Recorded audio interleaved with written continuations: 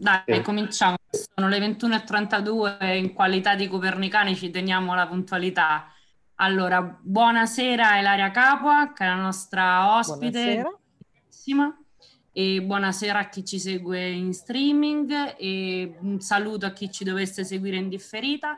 E questo incontro questa sera è per fare delle domande, farci spiegare delle cose da Ilaria Capua, che è una notissima virologa, professoressa ehm, e quindi esperta eh, di virus, ci parla del coronavirus e ci suggeriva un titolo che conteneva la parola pandemia e conteneva la parola infodemia e preoccupazioni perché non possiamo separare diciamo i fatti scientifici del coronavirus a quanto pare da quelli mediatici.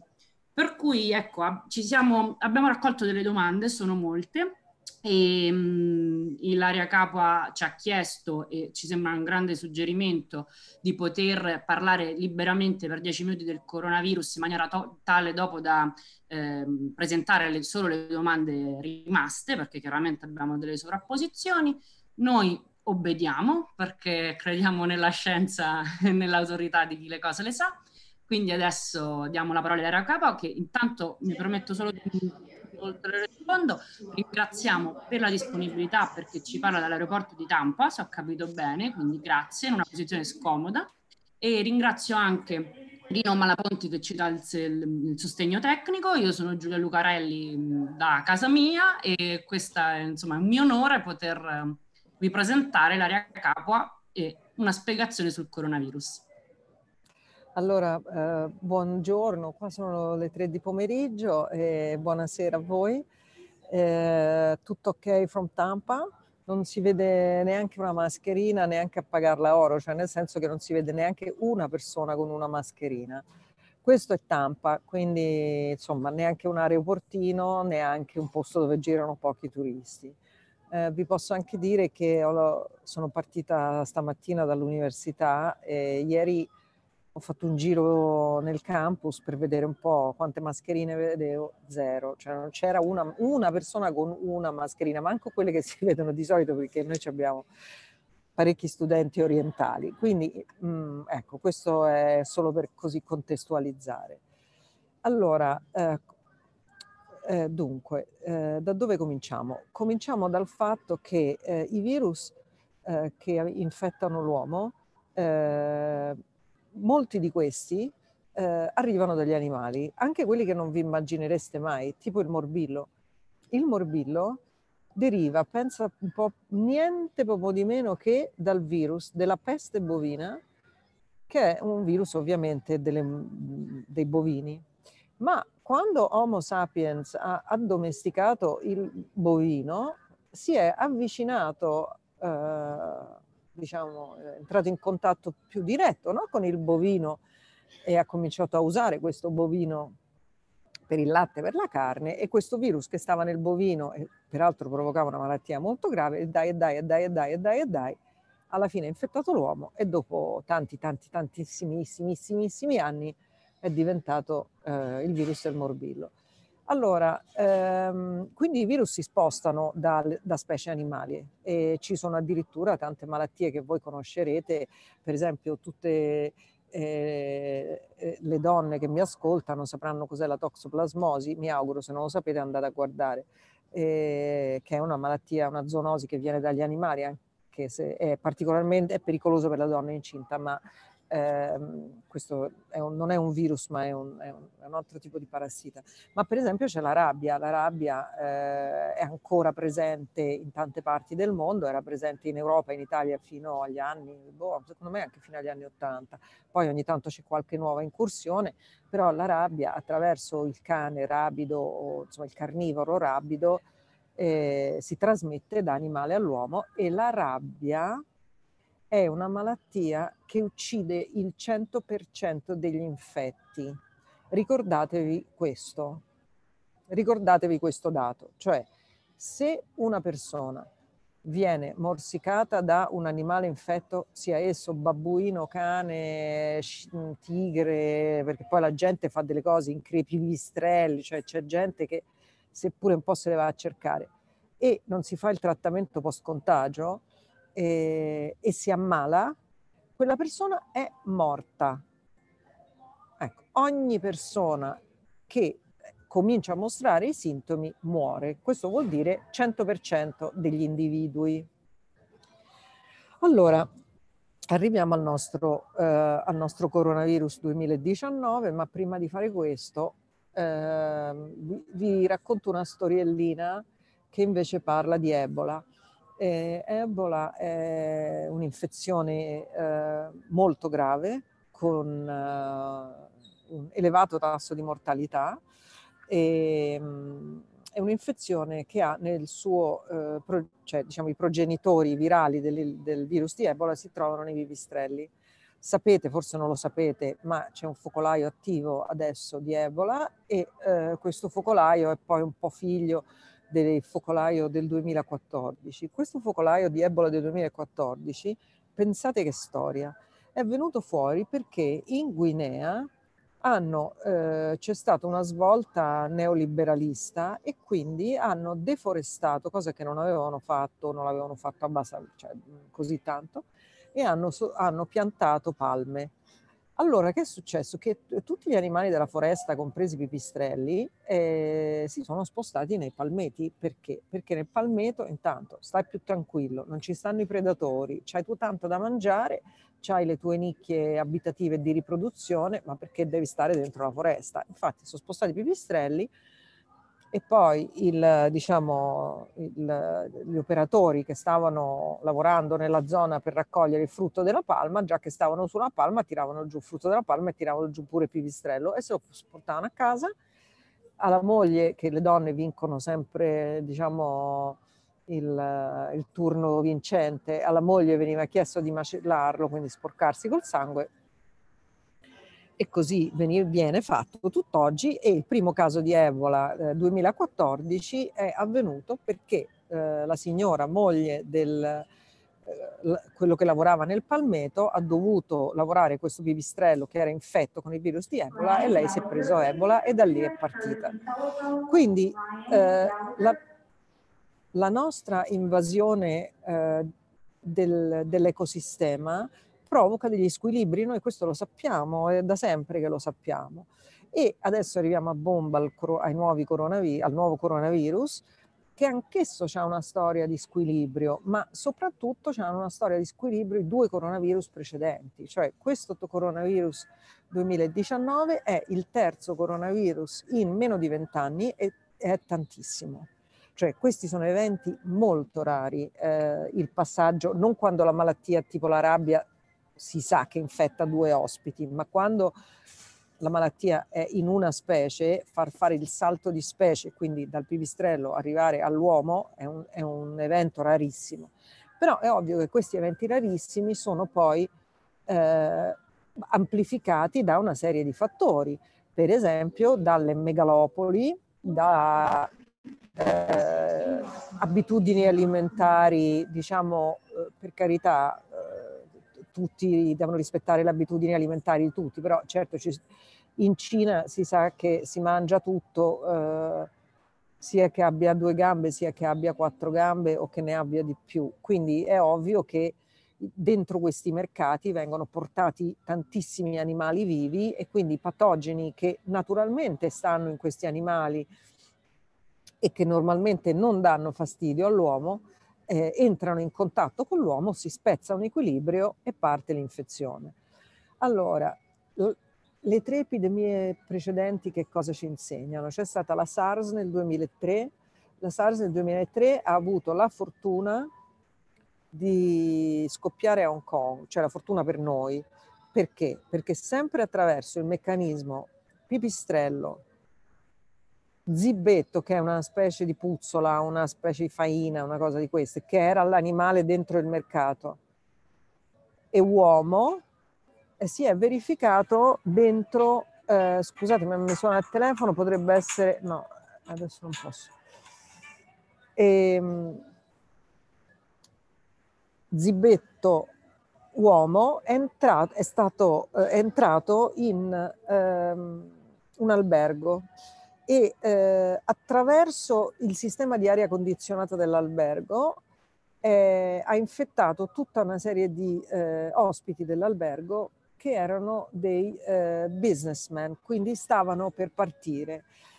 E quindi eh, con la SARS è stato eh, molto più facile bloccare l'epidemia. Infatti chi si ricorda di quell'evento là, gli aerei che partirono da Hong Kong per andare in Canada, c'erano le ambulanze a aspettarli perché nelle, diciamo, nell'arco di tempo del volo intercontinentale già ci si era organizzati per prendere questi come tipo pararli e la, la, differenza sostanziale è che Hong Kong, eh, specialmente in quegli anni lì, era molto più libera e quindi fortuna ha voluto che la SARS ha infettato soltanto 9.000 persone, ne ha uccise circa 800, tra cui il, il medico italiano Carlo Urbani che morì in Vietnam di SARS. Comunque,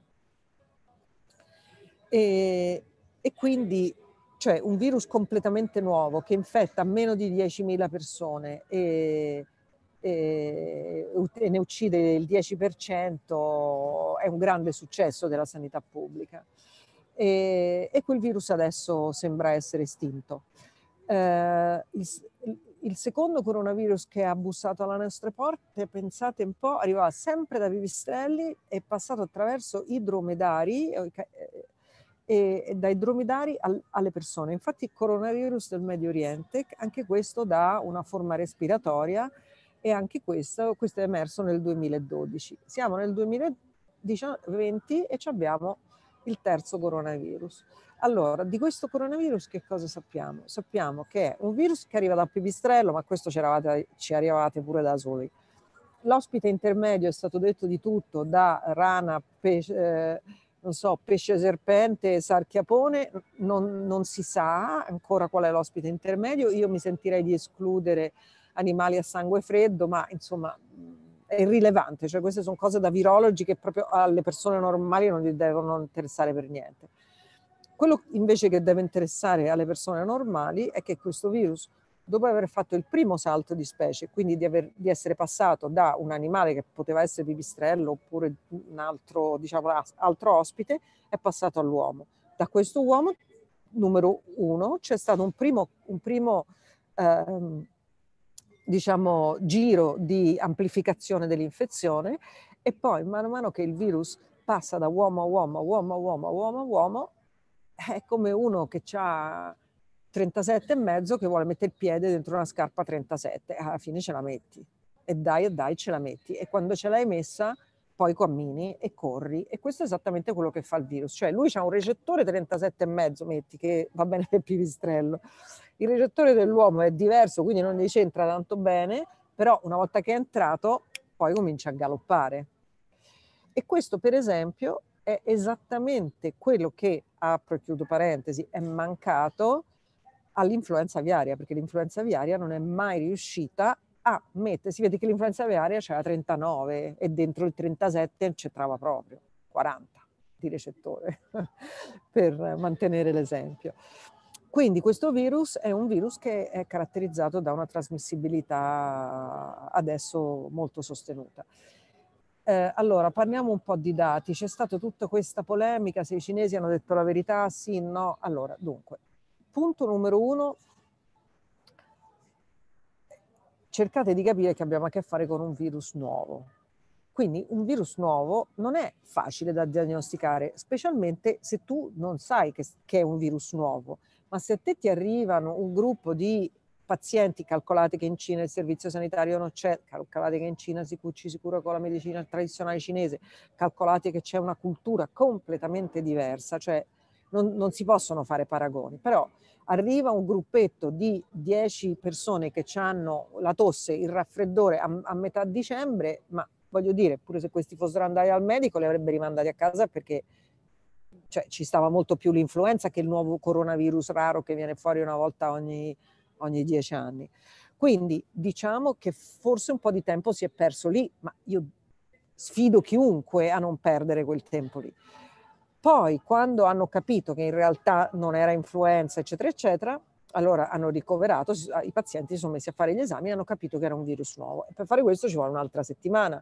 Nel frattempo però c'è stato il, il, cadeva il capodanno eh, lunare cinese e quindi tanti eh, cittadini si sono eh, spostati da eh, dove vivono, andare tro- sono andati a trovare le famiglie perché è l'unica vacanza che hanno i cinesi.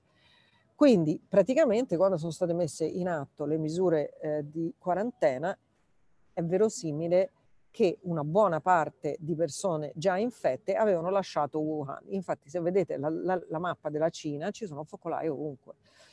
Allora, ehm, eh, rischio dunque, allora, eh, vorrei allora, focalizzare alcuni punti su se i cinesi dicono le, la verità oppure no.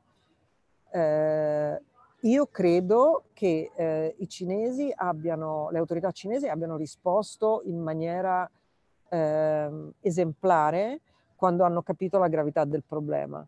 E posso dire senza vergogna che è un problema difficile da capire, cioè un problema non è una cosa immediata, cioè eh, queste sono eh, emergenze eh, che però appunto perché sono del tutto impreviste, eh, eh, si fa fatica a, a, a, capire bene che cosa sta succedendo. Poi ci sono delle voci che girano che dicono che ci sono insomma tanti cinesi che sono morti, eccetera, eccetera. Allora, io sinceramente non lo so, però eh, credo che se ci fossero centinaia e centinaia di persone morte qualche diciamo, segnale arriverebbe.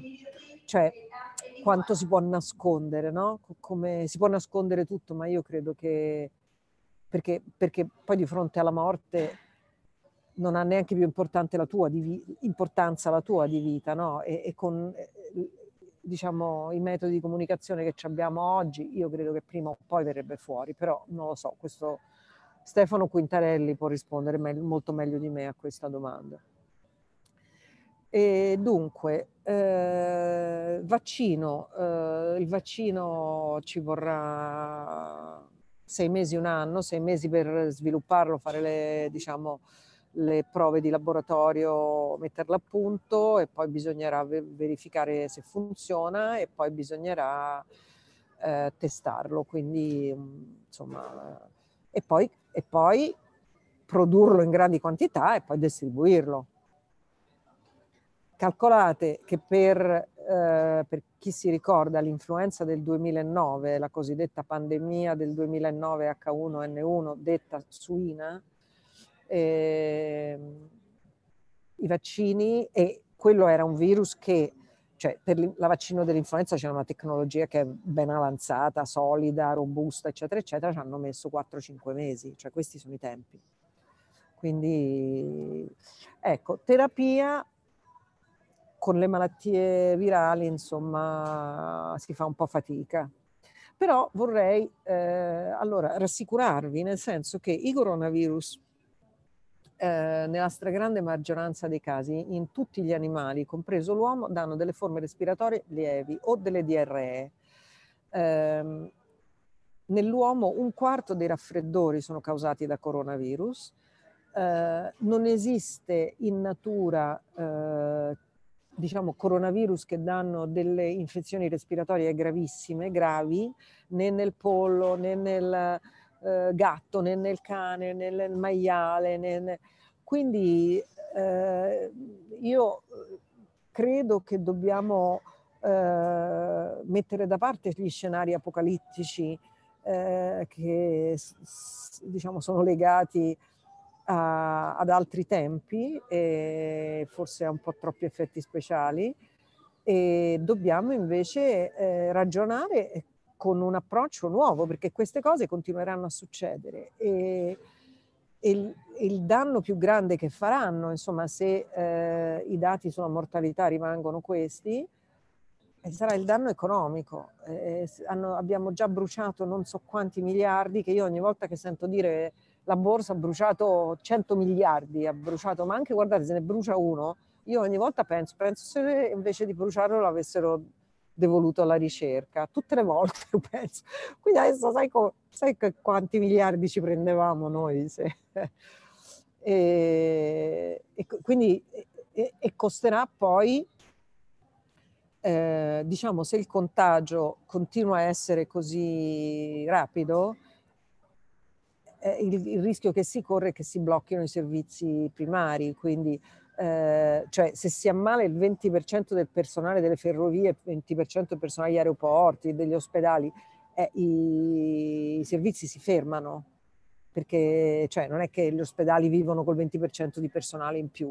Quindi poi ci sarà un ingorgo degli ospedali e quindi io ho molta più paura di questo.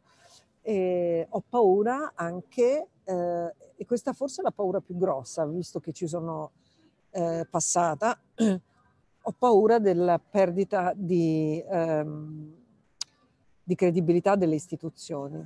Eh, perché questa è l'ultima cosa, la cosa che proprio non ci possiamo permettere non, insomma non, non, ve lo devo dire io, nei momenti di emergenza bisogna eh, obbedire e fare quello che, bisogna, e quello che dicono le autorità, non c'è né tempo né spazio per l'improvvisazione e per diciamo il singolo.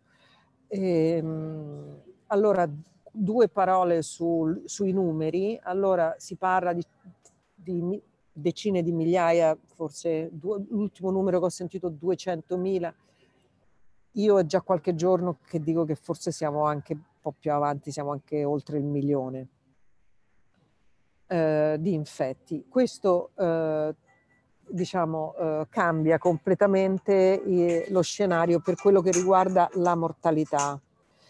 Eh, perché la mortalità eh, che a oggi è riportata a essere intorno al 2%, se gli infetti sono 20.000, 400 infetti, adesso non mi ricordo quant'è il 2%, se, se, gli infetti sono un milione, 400 morti eh, non sono nulla. Quindi sono dati in evoluzione. Eh, di certo non, non, sentiamo parlare di eh, diciamo, centinaia e centinaia di morti. Certo, questa malattia farà dei morti, anche perché eh, ci sono persone in Cina che sono, eh, non hanno diciamo, servizio sanitario, ci sono persone anziane, ci sono persone debilitate, ci sono persone affamate, eh, ci sono persone molto povere e quindi è ovvio che questa malattia in un contesto eh, eh gigantesco come quello farà dei danni e poi farà dei danni all'economia nazionale cinese e a tutte le altre economie perché adesso mi sembra di capire ma fra un po' hanno chiuso anche i voli Lufthansa e i voli, anche un'altra eh, British forse, no? Quindi questi sono dei terremoti, mm, diciamo, eh, che bruciano miliardi e miliardi. Ecco, e quindi qui arrivo al punto di conclusione. Il punto di conclusione di questi dieci minuti, che in realtà mezz'ora, è che oggi bisognerebbe, secondo me, ripensare la, la salute. E così come nel corso dei secoli siamo passati da credere che la cosa più importante era la salute dello spirito, poi dopo aspetta che forse è bene anche che il corpo sia in salute e poi con molto molto molto ritardo siamo arrivati a, a riconoscere le malattie mentali come parte della nostra salute, io credo che la salute va eh, interpretata oggi con un concetto più ampio che guarda un po' il concetto che ci avevano eh, illustrato gli antichi, cioè che tutto è interconnesso. Allora, così come eh, i quattro elementi, aria, acqua, terra e fuoco, rappresentavano i motori e i, diciamo, le energie che facevano girare il mondo e anche la nostra salute, adesso senza arrivare a quegli estremi, ma secondo me bisogna ragionare in quella direzione, cioè eh, noi siamo, la nostra salute è assolutamente dipendente dall'acqua, dal colera agli tsunami, alle alluvioni, alle zanzare, è assolutamente dipendente, e ai pesci che mangiamo.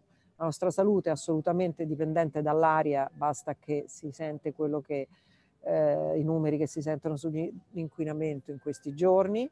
Eh, la nostra vita è dipendente dal fuoco, perché è dipendente dal sole, ma, è, ma soffre anche dell'eccessivo cal- calore e dei danni che il sole può fare. e, e che avanza, avanza la terra, la nostra vita è dipendente dalla terra perché sulla terra ci stiamo noi e ci stanno gli animali e le piante di cui ci nutriamo. Quindi io ho, sto facendo una, una, pubblicità pazzesca al mio nuovo libro assolutamente imperdibile che si chiama Salute Circolare e che però credo che a una comunità come la vostra mh, potrebbe interessare. È un libro che eh, vuole raccontare come appunto bisogna riscoprire questa visione eh, antica se volete e eh, attraverso eh, gli strumenti digitali, digitali, big data e l'intelligenza artificiale reinventarci una salute che sia più consapevole anche degli altri esseri viventi sulla Terra. Quindi la nostra salute fa parte di un sistema salute. Vi faccio un esempio facile facile non possiamo continuare a cercare di eh, ammazzare le zanzare per zika e uccidere le api.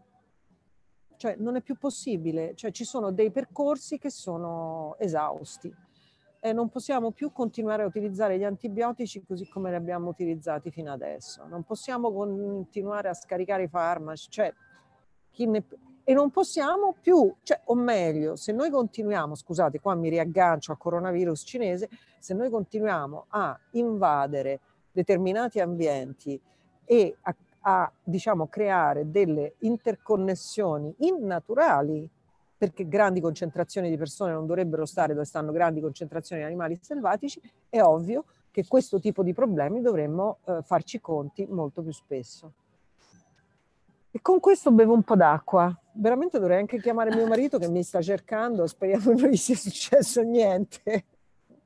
Ok, intanto grazie mille Ilaria, una spiegazione molto, molto articolata, molto interessante. Allora, anche per rispetto ai tuoi tempi e al tuo marito, quindi evidentemente io ho diciamo, segnato come risposte alcune domande e mi piacerebbe portane comunque un paio, quantomeno quelle più, più applaudite da, da eh, chi ha partecipato al, alla scrittura di queste domande, perché evidentemente sono quelle considerate più interessanti. Quindi te ne fa, hai toccato tantissimi punti, per cui te ne faccio una che è pertinente come potrebbe essere qualunque altra, ma la nostra più... Ovvero, la domanda è, se il virus dovesse colpire nazioni ad alta densità demografica e basso livello sanitario, e lì fa l'esempio di Nigeria e Indonesia, quali effetti sarebbero da prevedere? Ma io che... Eh, Tedros, eh, il direttore dell'OMS, che non chiamo per nome, ma ha un, un, cognome così difficile e lungo che vi annoiereste, Tedros, Dr. Tedros, ha detto proprio questo, cioè lui ha detto il problema è quando, visto i rapporti commerciali e i flussi di movimenti dalla Cina, quando questo virus eh, arriverà in Africa sarà, cioè, sarà un problema. Quindi eh, la mia non voglio dire preoccupazione, io direi la mia, il mio orientamento è che questo virus diventerà endemico, cioè farà il giro del mondo, piano piano ci metterà... Bisogna vedere come funzionano le misure di contenimento dalla Cina, ma comunque, cioè non è che, voglio dire, per quanto tempo si possono bloccare i voli? No? Per quanto tempo si può fare una cosa del genere? Quindi eh, io credo che... Eh, l'infezione insomma, si propagherà e arriverà pure in Africa. Quindi non è mh, tanto plausibile lo scenario come la SARS che è stato mm. intercettato eh, troppo tardi. Troppo tardi. Mm-hmm. Mm. Ok, quindi intanto grazie. E quindi attacco subito questa domanda che è in futuro con che frequenza ci possiamo aspettare? E la persona che l'ha scritto cita proprio virus come SARS e MERS come questo coronavirus? Eh, allora, eh, i, allora, i coronavirus ci fanno di qua e di là, cioè coronavirus del pollo va nel fagiano, coronavirus del cane va nel gatto, insomma c'è un po' di...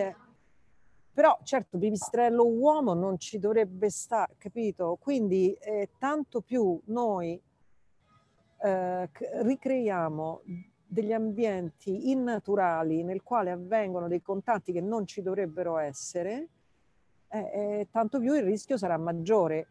Eh, sinceramente che ce ne siano stati tre in meno di vent'anni eh, non è un buon segnale, ecco. Mm-hmm. Ok. E allora, una domanda più allora di casa. Eh, abbiamo avuto due mm, esempi, diciamo, di, di, ricezione in Italia, cioè la ricezione un po' caotica, un po', un po affaticata e poi la ricezione istituzionale che insomma mh, mm, ha isolato eh, chi, chi, si è rivelato infetto, due turisti, che, in cui c'è stata anche la vicenda diciamo, dello Spallanzani che ha isolato questo virus, cosa che per noi profani sembrava una cosa bella e importante. E quindi, diciamo, l'Italia come si è comportata in questo scenario? Ma io però non ho seguito, ta- devo dire non ho seguito tanto bene. Io lo Spallanzani lo conosco da anni, conosco molto bene Beppe Ippolito, conosco molto bene Maria Rosaria Capobianchi, quindi non avevo dubbi. Cioè noi, eh, eh, lo dico anche al maresciallo che sta ascoltando, ascoltando questa conversazione, il mio laboratorio ex dove lavoravo a Padova e il laboratorio del eh, dott- professor Ippolito e la dottoressa Capobianchi ci siamo scambiati un sacco di virus perché lavoravamo insieme, quindi io non avevo nessun dubbio che loro sarebbero riusciti e insomma, ma hanno fatto cose molto più eroiche, cioè loro si sono mm, presi un caso di Ebola, voglio dire, ai tempi, quindi sono contenta che siano stati riconosciuti. Poi il resto, no, ho visto un sacco di polemiche eh, così eh, strumentali, ecco la parola giusta. Quindi sì, non, io non mi voglio mettere in me, cioè non, non lo so. Però, eh, insomma, la reazione istituzionale è sembrata corretta, ecco. Non... Sì, sì, sì, sì. Perfetto. Allora, provo a vedere se c'è qualcosa che, che allora, io nel proprio... frattempo però vi chiedo di, a tutti quelli che ascoltano e che ascolteranno, di eh, andare sul uh, sito del mio centro o sul mio sito personale e di guardare Beautiful Science, che è un, cioè è un, uh, un progetto che abbiamo sviluppato al mio centro. Uh, che ha coinvolto Andrea Bocelli e Giorgia e noi abbiamo chiesto a loro di poter usare la canzone Vivo per lei, che è una canzone di ispirazione alla musa della musica, per eh, promuovere la bellezza della scienza e soprattutto promuovere la figura degli scienziati, perché gli scienziati sono delle persone appassionate, sono delle perso- persone determinate, sono delle persone che amano quello che fanno e non sono dei banditi o dei cretini o dei rubastipendi oppure dei mezzi svalvolati. Allora, eh, questo è stato, cioè nel 2019 l'abbiamo lanciato, è stato l'anno di Leonardo, il genio dell'interdisciplinarità, il genio italico, eccetera, eccetera. Allora, noi dobbiamo nell'anno di Leonardo, e io questo l'ho preso come impegno personale perché vi garantisco che eh, eh, Andrea e Veronica Bocelli sono stati eh, disponibilissimi, però fare una cosa del genere non è una cosa facile, questo ve lo garantisco, e vorremmo fare un milione di views in un anno, eh, come inno alla scienza che parte proprio dall'Italia. E se mi date una mano mi fate una cortesia. Adesso sulla chat Beautiful Science vi metto il hashtag e poi magari ehm, Giulia vi mette il link, insomma in qualche sì. modo ecco. No, no, no, ci impegniamo a dare e Guardate, se c'è qualcuno che ha i figli... No, perché poi c'è un altro problema, che i ragazzini che vogliono fare science vengono pure un po' trattati con spocchia, capito? Perché ti va, ah, sì, ma che vuoi fare? Ma vuoi fare lo sfigato a studiare fisica. Invece no, anche voi che mi state ascoltando, se ci sono degli insegnanti, se ci sono mogli di mariti di insegnanti, mogli di insegnanti, fratelli di insegnanti, gente con tanti figli, fateli girare nelle scuole. Bisogna tirare fuori la passione che i ragazzini hanno per la scienza, perché se l'Italia perde eh, anche questo, lotteremo nuovi talenti per quanto, per quanto ci, è nelle nostre possibilità.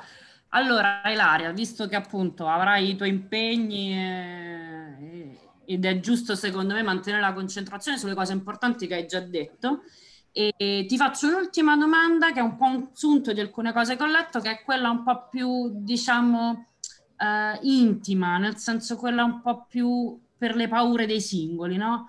Ma quindi adesso, mh, da, da persona appunto esperta nel campo, è il caso o non è il caso di fare viaggi nelle zone vicine? È il caso o non è il caso di, eh, non so, eh, di mangiare pipistrelli non è mai il caso, questo abbiamo capito. Però è il caso eh, di, per esempio, eh, farsi, che ne so, da quest'anno farsi sempre il vaccino per l'influenza. Mh, mm, oppure, allora, questo mi eh, sembra un ottimo assist sempre. e io sto per schiacciare, ciak, perché bisogna vaccinarsi per l'influenza? Per tre motivi. Primo motivo, anche a proposito di coronavirus, perché bisogna vaccinarsi per l'influenza? Perché? Prima di tutto, se ti vaccini per l'influenza è meno probabile che sviluppi l'influenza. Quindi, se non sviluppi l'influenza, non confondi il medico, perché se tu dici, no, scusi, ma lei c'ha l'influenza, ma io sono vaccinato, ah, allora penso forse c'è il coronavirus. Invece se tu vai lì col moccolo e, e dici, ma scusi, ma lei è vaccinato? No, eh, allora lei si è preso l'influenza, invece magari c'è il coronavirus. Quindi, prima di tutto per questo. Secondo poi perché eh, il, la coinfezione fra eh, coronavirus e influenza è molto più grave che l'infezione con uno solo, due peggio che one, quindi ti viene di sicuro la, la, forma grave se ti riprendi tutti e due insieme, e terzo per non ingorgare le strutture ospedaliere, perché ogni anno vengono ricoverate non so quante mila persone per, per l'influenza che si potrebbe anche evitare, cioè bisogna difendere quello che sono i servizi essenziali, cioè bisogna veramente fare un'operazione di responsabilità come stanno facendo i cinesi che si sono chiusi dentro casa. Io ho una studentessa cinese che viene da quelle zone e lei mi dice che molti dei, dei suoi parenti che stanno in giro per il mondo, molti di essi sono messi in autoquarantena. E allora, io ho una figlia di 15 anni che eh, non sta per andare in Cina, ma se mi avesse chiesto, mamma, posso andare in Cina? Le avrei detto no, ma perché? ma perché, perché se succede un casino rimani là.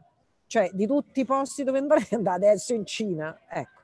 Quindi in questo momento se uno deve andare per diletto, anche no. Se uno deve andare per lavoro, va attrezzato. Cioè, io sono in un aeroporto e quindi eh, e vado verso la Cina, va, va, vado in quella direzione. Quindi eh, non, non, esageriamo. Eh, usiamo il cervello e ricordiamoci che ognuno di noi, cioè che questo è un problema di salute pubblica, non un problema di salute del singolo e quindi la salute pubblica si ottiene soltanto se tutti convergono verso lo stesso obiettivo. Basta uno che fa una cavolata e che saltano, eh, salta il lavoro che hanno fatto migliaia e migliaia di persone.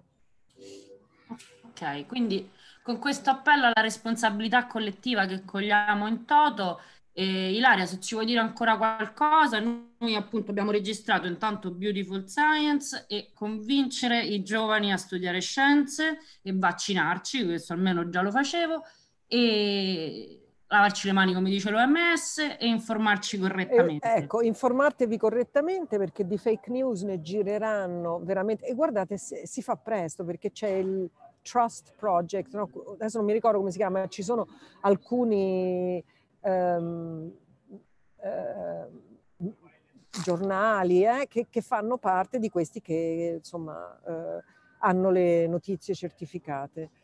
E, um, c'era una cosa che volevo aggiungere, che sul sito del mio centro esiste un seminario che ho fatto per um, i, i, l'università, perché poi l'abbiamo trasmesso tramite Zoom.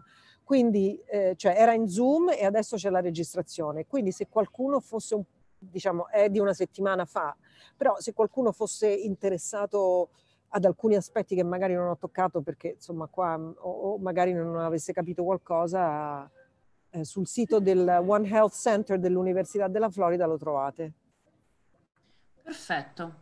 Allora Ilaria, guarda, io non so come ringraziarti e veramente speriamo di risentirci per, uh, non so, di, una spiegazione magari più... Ah no, adesso ass- mi prendo una, un merito però con voi. Posso prendermi un merito con voi? Ma scherziamo, adesso me lo certo. prendo. Perché io vorrei la prossima volta parlare con voi di questo e adesso vi metto, poi dopo vi attacco una cosa qua sulla chat. Allora, Perfetto. perché per me questa epidemia è un'epidemia che veramente lascerà un segno? Perché tutti stanno condividendo i dati.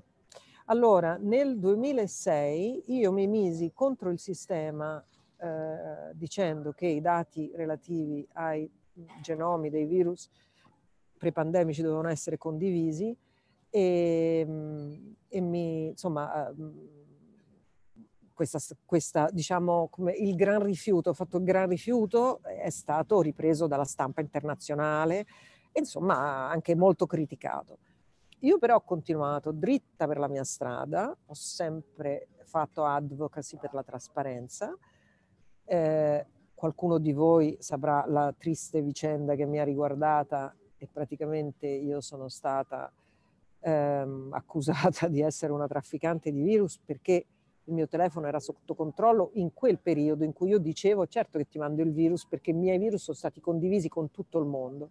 Adesso, dopo 14 anni, esattamente perché era febbraio di, del 2006, l'OMS ehm, riconosce che questa è la vera chiave di volta e quindi a me piacerebbe proprio, adesso attacco il file qua, mi piacerebbe proprio che per una volta eh, l'Italia si appendesse questa spilletta sul petto perché è una cosa che è stata fatta in Italia, è partita dall'Italia e probabilmente in tanti altri posti io non... Ah no, ma così non riesco a attaccarvela, aspettate, ho sbagliato. Uh, vedete qualcosa? No, non vedo. Eh no, Però aspetta, ho sbagliato. Così. Ho sbagliato, ho sbagliato. Vabbè, ve lo attacco. Sì, sì, sì, sì, ve lo attacco nella chat. Quello volevo fare e non sono riuscita. Ecco, a me piacerebbe proprio che mm, l'Italia si prendesse questo, questo lustrino, la sanità pubblica italiana. Ecco. Eh, molto bello e molto generoso da parte tua. Io ti confesso che chiaramente prima di questa intervista ho un po' guardato la tua storia su Wikipedia. Tra l'altro, probabilmente lo sai meglio di noi, ma recentemente eh, sta girando un articolo di Mattia Feltri che ricostruisce tutta la, la vicenda veramente vergognosa di cui sei stata oggetto. Quindi ecco, eh, il protocollo di IVA, insomma, sono tutte cose che ho letto in questi giorni. È bello che tu ne voglia fare una bandiera dell'Italia e insomma da italiani ti dobbiamo essere grati perché insomma l'Italia ha dato, ti ha anche tolto ed è un po'... Vabbè però l'Italia, guardate, l'Italia a me mi ha dato veramente tanto, mi ha tolto. Allora eh, sono incappata in un malfunzionamento e, e però io trovo, infatti eh, io, io, perché sono qui adesso all'aeroporto di Tampa che non rispondo a mio marito? Perché io